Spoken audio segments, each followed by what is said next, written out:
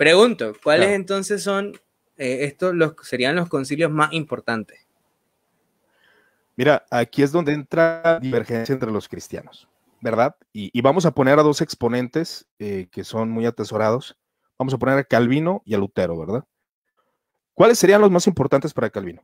¿Y cuáles serían los más importantes para Lutero? Eh, para Calvino serían solo cuatro concilios los más importantes. Y para Lutero, siete concilios ecuménicos. ¿Verdad? Pero vamos a mencionar cuáles son estos concilios. ¿Qué les parece? Eh, los concilios más importantes, eh, que es el primero, el concilio de Nicea. Este concilio es del 325, ¿verdad?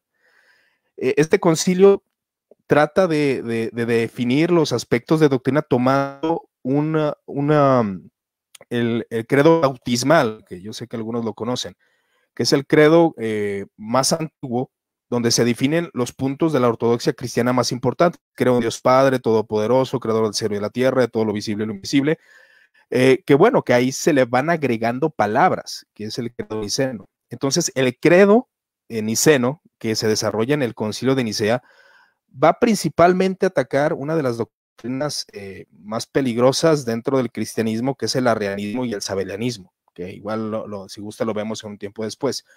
El segundo concilio más importante dentro de la iglesia cristiana es el concilio de, eh, eh, el concilio de Constantinopla. Este es del año 381 el cual busca, a pesar de que se definen y sea los aspectos de doctrina, que en un momento vamos a ver cuáles son, a pesar de que ahí se establece todo, realmente el proceso no fue nada fácil. Eh, fue un proceso muy difícil, la gente no quería aceptar algunas de las formulaciones, pero el, segundo concilio más importante es el concilio de Constantinopla del año 381, que en un momento, vuelvo a mencionar, vemos esos aspectos, ¿no? Conforme a otra pregunta.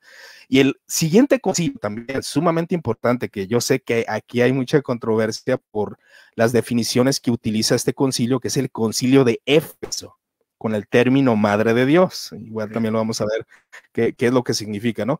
Este es del 431 después de Cristo. Si se fijan cómo hay, hay una variante de años, 50 años, 60 eh, años, o sea, vemos que hay un proceso donde se va desarrollando la doctrina.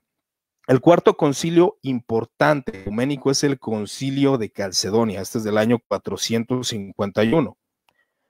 Y, eh, eh, y la mayoría de concilios, cabe mencionar que fueron llamados, por así decirlo, por emperadores. ¿eh? Eh, Ese es algo que, yo al menos veo en la soberanía del Señor, cómo utiliza a los poderosos para, para tratar de unificar la cristiandad. Porque cuando, dice, dice un historiador que cuando Constantino se convierte al cristianismo, lo menos que halló fue una iglesia unida.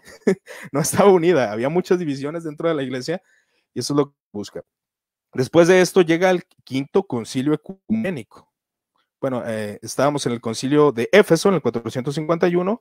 El cuarto concilio importante es el concilio de Calcedonia, como lo había mencionado, es del 451.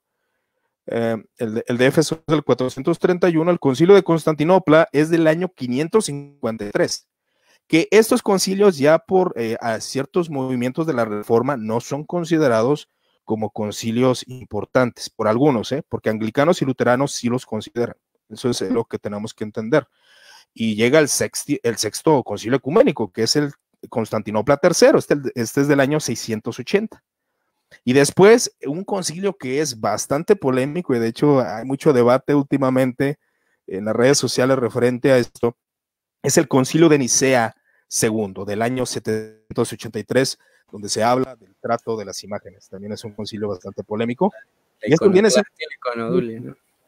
Sí, sí, igual eh, es un tema yo sé complejo, porque en este tiempo lo hubo, y de hecho es muy parecido los problemas que tenemos ahorita a los problemas que hubo en este año del 783, pero obviamente era más político el asunto. Pero estos vienen siendo los concilios más importantes, John, Carlos. Estos vienen siendo los concilios que, que yo creo que todo cristiano debería de analizar, considerar y poder ver realmente lo que tratan estos concilios, que obviamente ahorita estoy mencionando los nombres de los concilios, pero vamos a ver qué, qué se trató en cada uno, ¿no? Que esa es la problemática que tratamos aquí en, en este, en este video, ¿no? ¿Qué, ¿Cuáles fueron las herejías a atacar?